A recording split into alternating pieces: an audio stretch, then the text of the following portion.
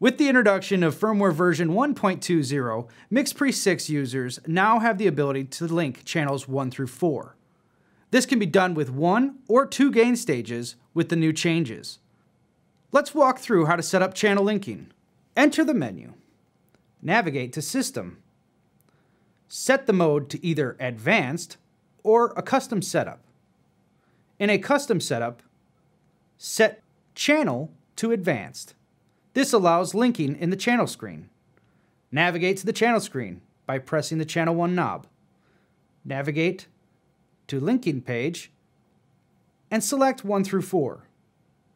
Now, Channel 1's gain knob will control the level of all 1 through 4 channels. The limiters are linked in this mode. Channel linking is also available with the more advanced 2 gain stage setup.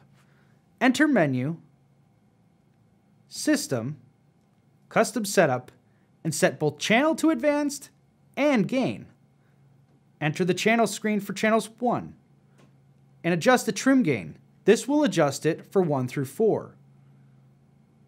This setting on 2, 3, and 4 are all grayed out.